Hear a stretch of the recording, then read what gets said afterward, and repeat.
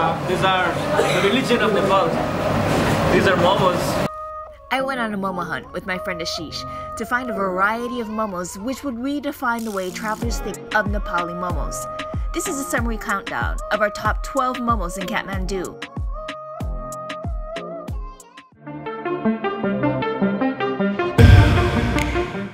So how many momos do you think there are in Nepal? Recently I went online and found an article that stated that there are over 10 different types of momos out there.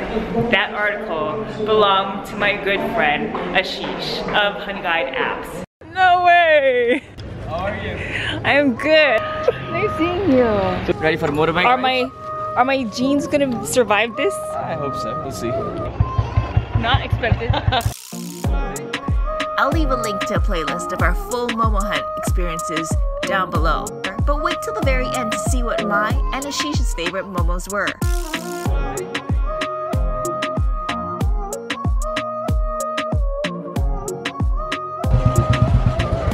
A dust on my camera. Welcome to Kathmandu. Thank you.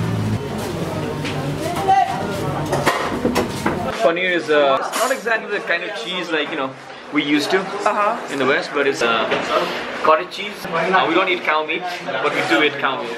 Okay. Should be showering in tomato sauce. So these are like chunks of paneer. Paneer, and then I'm thinking it's onions. Yeah, this, this sauce is really like salty. If you eat it without the sauce, it's pretty subtle. But then uh, you know, with the sauce, I think it gives it this perfect combination of subtle and uh, flavors. This is the commercial hub of Kathmandu, New Road. There's a pork momo joint right here around the corner here. Uh-huh. We could go there and then we could go eat the buff momos. How about that? Okay, you're gonna have to eat it though. Oh yes, I will. I will. No, the challenge. Challenge accepted. Now we got this deal You then. gotta find the parking spot though. He'll try first. the meat stuff and I'll try the veggie stuff. That way, every viewer out there is covered.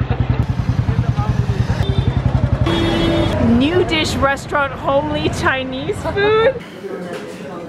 Apparently these guys don't do half plates, so I'm gonna have to eat the entire plate. You're going down in two dishes. They're really big on these uh, pork momos. Not many places serve uh, pork in Kathmandu. This thing is based on vinegar. Oh, I can smell that vinegar. Hot and dangerous stuff right here. So what you can do is you can basically put all this stuff in, in the soup Uh-huh. to make it flavored. Oh. And the clear soup is also sort of Chinese. This is the vinegar Uh-huh. with uh, chili.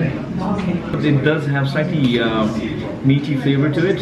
So this is the uh, water that they use to cook the momos at the top. So all the flavor goes into the soup. Oh, and then it just drains through the bottom. Gonna poke holes in it. Mhm. Make sure that soup goes inside. It's very Chinese influence, this momo, Yeah. except for the spices probably.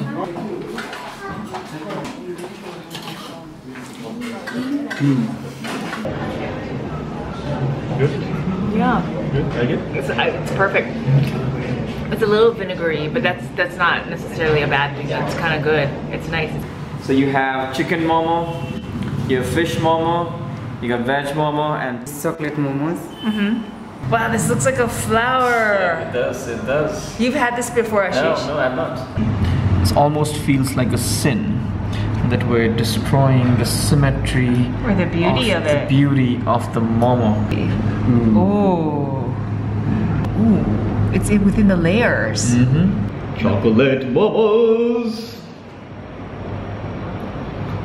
Good. Very gooey in my mouth. Yeah. For dessert, Uh-huh. we'll probably get a under three. But as a momo dessert, this would be a five. You can see the That's core right there. The khuwa. It's almost like a paste, a, a thin paste, right? Mhm. And they also put in some uh, coconut in there as flavor. Oh, you can see that? yeah, the brown, brownish stuff is probably coconut. Oh. Okay, let's dig in. I was anticipating like sugary sweet. And it's like, yes, it's got the coconut. I've got the texture of the khuwa. I was anticipating a different dessert, I think, like burfi. Uh, now burfi, they put a lot of sugar in there. But khuwa is not, it's just milk. It is very creamy and milky and I can taste the, the coconut. It tastes good. Absolutely dig khuwa. Mm -hmm. mm.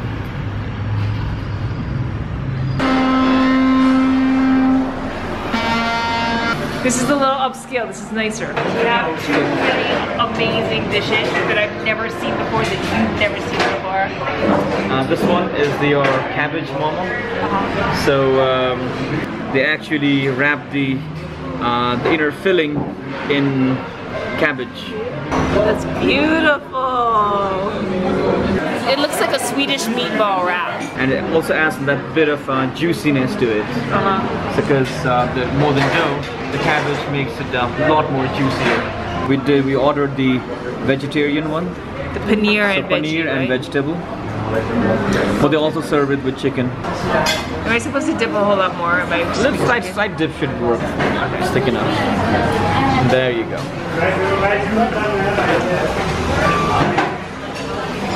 One momo, one go, Christine. I told you. Because this stuff is good. Gonna mush it deeper this time in the sauce.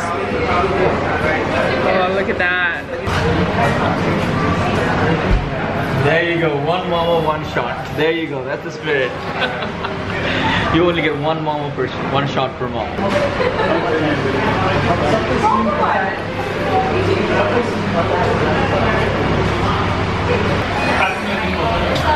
This is really good because it's got the, it's a lot more uh, juicy because of the cabbage. It feels clean going down, feels light also. The momos never feel quite heavy. They do kind of feel like a snack. Good, good. Very juicy. Those are green momos. So what they basically do is um, it's based on flour, but they also put a lot of spinach in the flour before they uh, mix it. Okay. And uh, that, that, that's what it gives us. That's like the uh, the greenish color. These are really, really, really green. Yeah. Whoa, that's chewy. Get that sauce in there. The spinach makes the dough slightly chewy, but other than that, you get a slight hint of spinach. Other than that, it's very similar to the usual dough. I think there's only this place, the Alice restaurant, that serves the cabbage and the uh, the green momos. This is the, the Everest Momo Center, like basically the entire Thamel orders their momo from here. It's like a really famous place and the momos are like, you know, something right home about. So you, as you can see, it's meaty dumpling with a really nice soup with garnish and all. So these guys like they pioneered the whole thing. Place all over Kathmandu that serves these kind of momos. That's a hunk of meat. The sauce alone has a lot of flavor in it. Like a creamy, is that cilantro or? they only have the buffalo here. The buffalo. Only one type of momo. That good.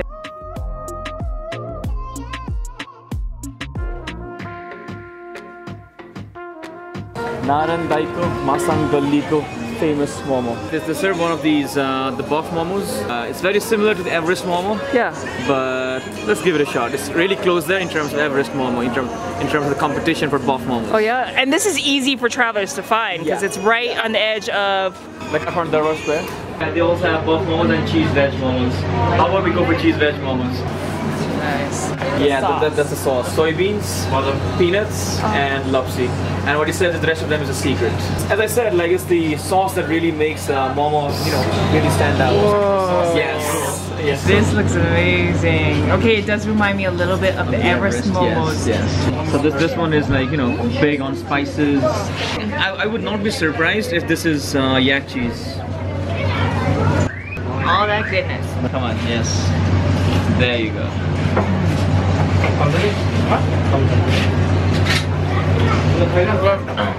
The cheese here is very, good stands out. But I feel like it's got a, a richer taste. Yak cheese or even yeah? Oh, yak cheese. That's what it is. Yak cheese. I really like it actually. And also, it's not as subtle as the paneer momo. I want to say it's like a cross between American and cheddar. So we're here at Le Trio. Uh-huh. Uh huh. and it, this place is famous for its jhol momos. Uh-huh. So it's like basically a uh, bowl full of soup. Uh huh. It's like nice tasting soup, and they basically put the momo in there and bring it to you. So it's perfect from a weather like this. Okay. Let's go in. Okay.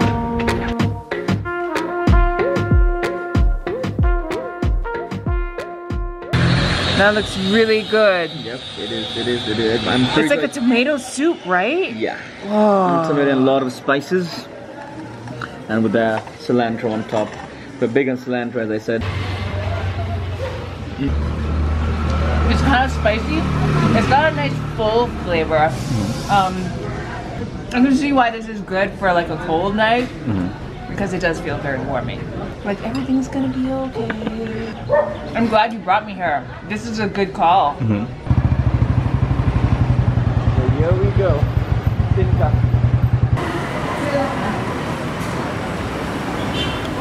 Oh, it looks crowded. It's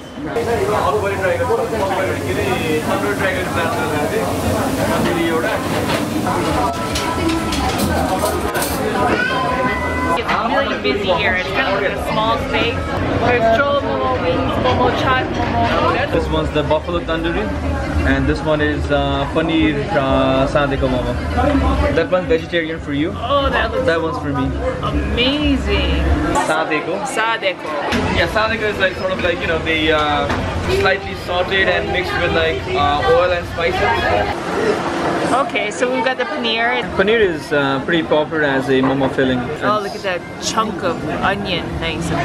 This really is kind of like having a vegetable salad.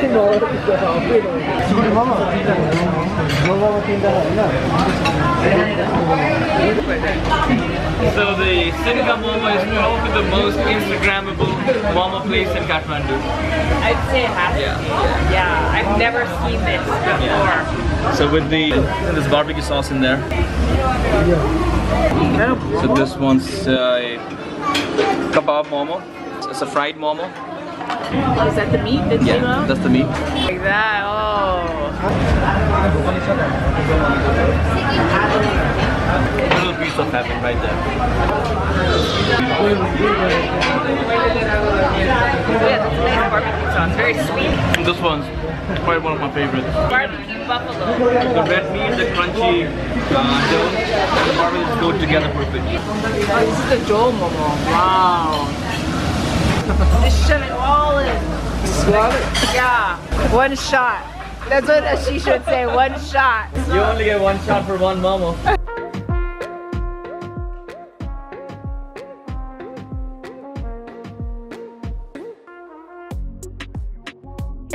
So most places serve this uh, the closed version of momos, Yeah. but uh, this is one of the few places which specializes in the the open versions. So the better thing about the open momos is you can put a lot of uh, the sauce in there, and it's a sauce that really gives the momos its flavor. So they will actually give us about uh, three or four sauces. The peanuts, Okay. a slightly um, Swedish. Swedish. That's the one based on vinegar. That's the one based on tomato. And that's the one based on chili. And those are open momos. Yeah, it's mostly cabbage, uh, carrots. You're saying with this you could put four different types. Oh yes, in one momo. Beat that. So that's sour. So I have sweet, sour, spicy, but I think sweet again. All going into going into my mouth right now. And I think the trick is that all of the flavors just hit your mouth at different parts or different parts of your mouth mm-hmm. or tongue at the same time. Kind of like what were you saying? Mouth gasm. A mouth gasm. Exactly.